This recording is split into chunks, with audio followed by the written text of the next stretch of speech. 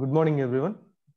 Today we will see the four quadrant Chopper-fed DC motor drive, its operation and all. See, this four quadrant uh, chopper is also called as a class A chopper. Class A chopper, and this is the circuit diagram of four quadrant chopper. And you can see this chopper is operating in four quadrants.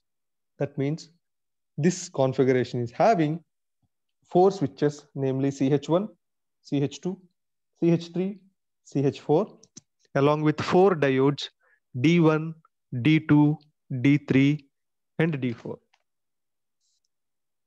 And the motor load is connected in between these two legs, in between these two legs, and this, this can be any motor load, which means uh, separately excited motor load or series motor load, any of the motor load. And this blue line indicates the motor actual current direction and plus and minus symbols indicates the actual voltage polarity across the motor terminals. Okay. Now we want to operate this chopper under four quadrants. So for each and every quadrant, we have each and every, for each and every quadrant, we have four switches. So CH1, which is first switch used for the first quadrant operation, which means CH1 will be the operator for the first quadrant. CH2 will be the operator for the second quadrant. CH3 will be the operator for the third quadrant. And finally, CH4 will be the operator for the fourth quadrant. Right? So, and this is the four quadrant uh, diagram. And which quadrant which switches will operate which switches will be turned on which switches will be turned off. And all those details has been uh, shortly given here for each and every quadrant. And we will see the operation of this circuit how the four quadrant operation will be achieved across the motor terminals. Okay and this is the supply voltage which is a dc because this is a chopper circuit so the supply will be a DC plus and minus terminals. Now let's see if the switch one is turned on. Switch one means we are uh, looking for first quadrant operation. So switch one is the operator for the first quadrant. So switch one, if switch one is turned on, and also the switch four is also turned on. Switch 1 and switch 4 are turned on initially. Then the supply current starts from the supply and enters into the switch 1, switch 1 to the motor terminals, motor terminals to the switch 4, switch 4 to the negative supply. So the current starts at the positive terminal, enters into the switch 1, uh, from switch 1, it will flow through the motor load, any of the motor series or separately excited motor, any of the motor from motor load to the switch 4, uh, from switch 4 to the negative supply. So the current will be uh, taken from the supply by the load. That means this is the motoring action. Or you can see the current entering path, the green line is the current drawn by the motor, which is this arrow. So this is the direction of the current and this blue arrow represents the original direction of the motor current. See, these two currents are on the same direction. These two currents are on the same direction. That means the current is positive in the motor. Okay, and you can see switch 1 switch 4 both are turned on. That means the positive terminal of the supply is directly appeared across the positive supply of the motor. So this positive is connected to the positive terminal of the motor. Positive positive is connected. And here this negative terminal is connected to the negative terminal of the motor because the switch is short turned on so short. So this negative is connected to this negative so positive is connected to positive negative is connected to negative that means the voltage is also a positive value. So voltage positive and current positive, that means this operation is forward motoring condition or simply we can say first quadrant operation. So for achieving this, we have turned on the switch 1 and switch 4. This is first quadrant. So CH1 is the CH1 will be the will be operated here. Now we have seen CH1 turn on condition. Now we will see if this CH1 is turned off, which means open circuit. If CH1 is turned off, then there is no current will be flow from the supply terminal to the motor terminal. In this case, this diode D2 will become forward bias, which means this diode D2 will freewheel. So the energy which is stored in this inductor will be circulated in the form of current through the CH4, which means switch 4 to diode D2 to diode D2 to the motor armature uh, terminals, which is RA, LA, and EB. So this will be the current direction when the switch 1 is open, which means turned off. Switch 1 is turned off. That means there is no supply is given to the motor. So already the inductive winding having the energy which is stored energy. That stored energy is delivered or uh, distributed again or recirculated as a current through the switch 4 and diode D2. Here diode D2 will freewheel. So here also you can see the original direction and the current flow direction of the motor. Both are same. That means still the current is working in the four quadrant operation. For this operation, the motor terminals are short circuited. See, D2 and CH4 are short circuited because these two are on. That means these two terminals are short circuited because this is a freewheeling action. So the voltage across the motor terminals during this mode is zero. Okay, so still it is in first quadrant operation. Now you can see CH1 is operated. Operated means we can see the condition when CH1 is turned on as well as the turned off. We have seen for the turned on and for the turn off. So when CH1 is turned on, similarly CH4 is also turned on so that the current direction will be from the supply to the motor. This is on case. And when CH1 is off, we have seen that CH4 along with D2, this D2 will comes under freewheeling action. So this current will be recirculated. So CH4 and D2 will conduct when the CH1 is turned off. So this is the first condition to achieve the first quadrant operation. Similarly, we can see for other quadrants also. Coming to the second quadrant, see second quadrant means we need to operate the switch 2. So switch 2 will be operated. So if this switch 2 is turned on, if this switch 2 is turned on, that means it is closed. So always this supply tries to uh, deliver the current to the load. So it will if you see this switch 1 is off. So current will not enter here. This diode is this diode is reverse biased. So current will not enter here also. And switch 3 is open. So will not enter here also. D3 is reverse bias so the current from the source cannot be uh, entered to the load. At this condition, the back EMF acts as a supply, which is a generator.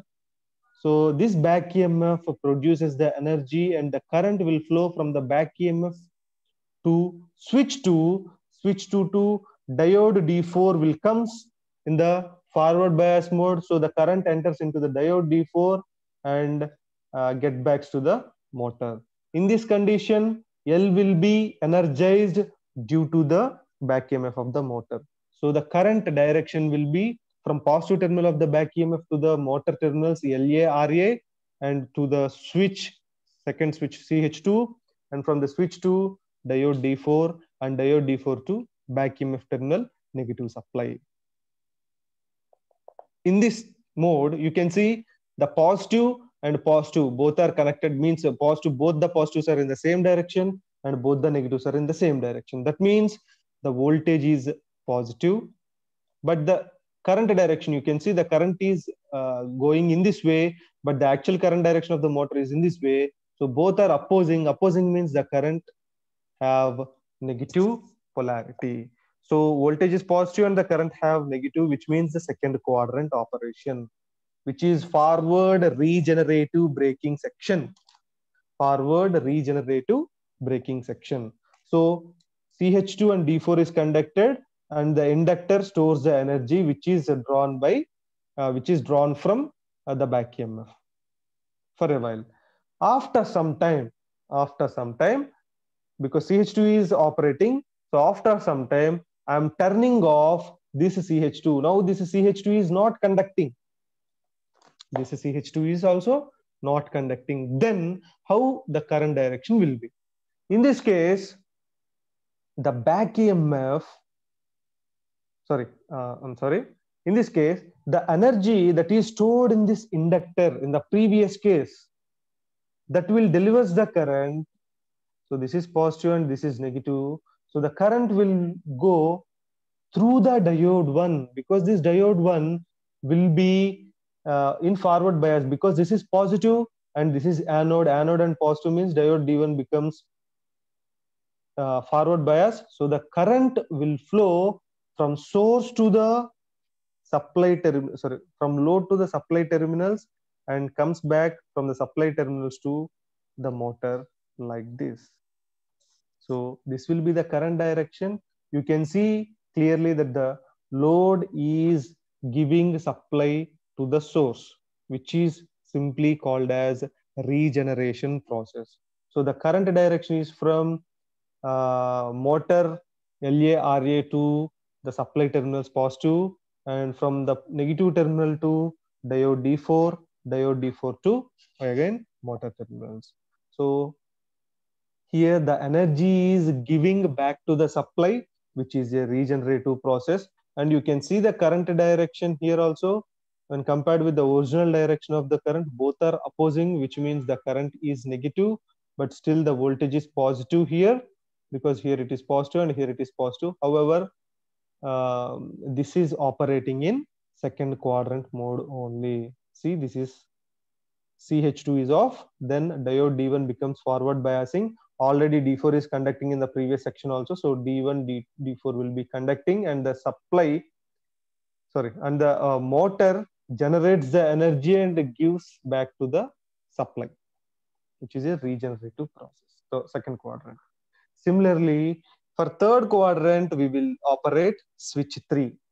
If we turn on on condition, for on condition, if we turn on this switch 3, then switch 2 will also be turned on for the continuity of the sub continuity of the supply. So in this case, the current from the supply positive terminal will come through switch 3, switch 3 to the motor, motor terminals to the switch 2, switch 2 to the negative terminal. So this will be the current direction. So positive supply to the current from the source or the, from the supply will start at the positive terminal and flows through CH3, which is switch 3, and enters into the motor and goes into the switch 2 and ends at negative terminal. And you can see here the positive terminal is connected here and uh, the negative terminal is uh, is connected here but which is opposite polarities to the original positive and negative that means here the voltage is negative polarity and similarly you can see the current direction here the original current direction is opposite so both are opposing that means the current is also minus. So voltage polarity is opposite and the current direction is also opposite, which means current and voltage both are opposite direction. That means the third quadrant operation can be achieved when CH3 and CH2 are turned on. Okay, here this is third quadrant. So we have seen CH3 turning on condition. Now let's see if CH3 is turned off. It is not conducting now. It is not conducting now. Then the energy that is stored in the inductor that will be delivered or that will be circulated to the uh, CH2 and here the diode D4 becomes the forwarding condition and the current enters into diode D4 and uh, falls back to the motor terminal. So uh, like this, the current direction will be, and you can see the current direction in this uh, condition also both are opposing, which means the current is still negative. That means the motor is still operating in third quadrant only. So CH2 and C D4 both are conducting channel 2 switch and D4 both are conducting. So here the third quadrant operation is achieved even when CH3 is turned off so that the current direction will be from LA RA to the CH2 CH2 to D4 diode D4 to again motor back EMF EB terminal. So this is how the third quadrant operation can be achieved. And for the fourth quadrant operation, switch 4 will be operated. So initially switch 4 is turned on. So switch 4 is turned on. Uh, other switches are turned off. So there is no chance of uh, coming input current uh, from the supply. So this motor load, which means the back EMF itself will generate the energy and the uh, energy will be, sorry, sorry, uh, this is turned on. The EB will be generating the energy and the energy will flows in the opposite direction because Hello, hello, CH4 hello. is turned on. Excuse me. Sorry for the disturb disturbance. Right. So CH4 is turned on. So that means this energy will be means the back EMF will have a reverse polarity here. So the positive voltage will be like this. So current started uh, starting from the positive polarity will goes through CH4 and CH4 to diode D2 will become uh, forward bias because positive terminal is connected to the anode terminal of the CH4. So that means uh, uh, this diode D2 becomes a forward bias condition. So the current will enters into the D2 and uh, comes back to the motor like this. Now you can see the motor is starting, uh, sorry, the uh, current is starting at the back EMF positive terminal, back EMF positive terminal to the CH4, CH4 to diode D2, from diode D2 to uh, RA, LA of the motor terminals. You can see the polarities, voltage polarities. Here it is positive, but actual polarity of the motor has to be negative here. So which means opposite. The polarity is opposite. That means the voltage is negative. And the direction of the current, if this is the actual current direction. Now the mode direction, mode current direction is this. So both are in the same direction, which means the current is positive. So current is positive, but the voltage is negative, which is fourth quadrant operation. So in this duration, this back EMF uh, generates the energy. That energy is stored by this inductor. So CH4 is turned on, then diode D2 will become conduction mode. So at this duration, inductor stores the energy.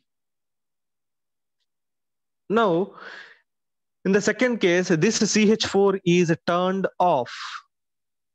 In the previous case, we have turned on the CH4. Now it is turned off. CH4 is not turning on. Now, this energy which is stored in the inductor tries to deliver its own energy to the load. So, this will be the current direction. That means the diode D3 will comes into the forward bias because this is positive terminal and this will be the negative terminal of the uh, negative terminal. So the current is starting from the positive terminal. So diode D3 will become forward bias mode and similarly diode D2 will become forward bias mode. That means D3 and D2 will be conducting because this cathode is connected to the negative terminal. So D2 will become forward bias. Positive is connected to the anode terminal of the D3. So D2, D3 will become forward bias means these two are conducting now. So the ener- energy that is stored in the inductor will be delivered to the load via D2 and D3. and the current direction will be from inductor positive terminal to diode D3, from diode D3 to the positive terminal of the supply, and negative terminal of the supply to diode D2, D2 to the uh, D2 to back to the motor terminals. In this case also, the energy is which is generated in the motor or in the load that is delivered to the source. So the motor or the load is generating the energy and giving back to the load, which is reverse regenerative braking because the current is positive. See the direction of the current, but the voltage polarities are negative here. So current is positive, but the voltage polarity is negative. That means fourth quadrant operation. So fourth quadrant operation determines the reverse regenerative braking. So this is how uh, the four quadrant operations can be achieved with the help of class E type chopper. Each switch operates, sorry, each switch will controls each quadrant. Okay.